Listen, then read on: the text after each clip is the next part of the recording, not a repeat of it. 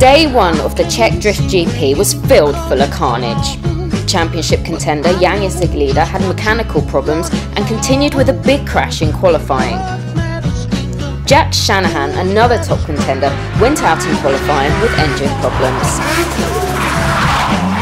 Championship leader Peter Więcek just made qualifying with seconds to go and qualified in fourth. Marek from the STW team put in a crazy run and led the qualifying up until the final stages.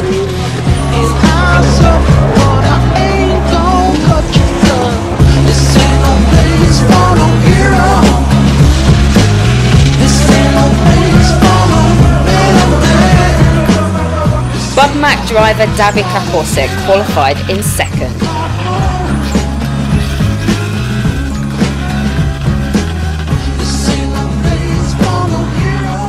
James Deane smashed out the best run of the day with an amazing score of 99 points.